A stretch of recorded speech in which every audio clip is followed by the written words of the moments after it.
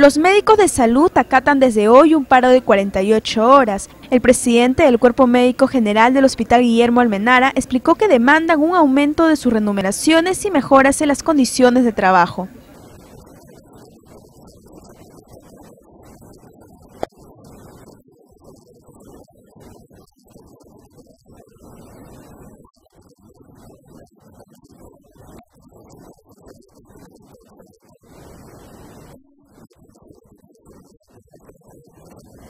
Al exterior del frontis, los médicos que realizan dicha protesta explicaron que la medida responde a la falta de voluntad política del gobierno. El jefe del Hospital Almenara, Cristian Miranda, precisó que la huelga no afectará áreas críticas ni de emergencias. Además detalló que se instalarán piquetes para atender a pacientes hospitalizados.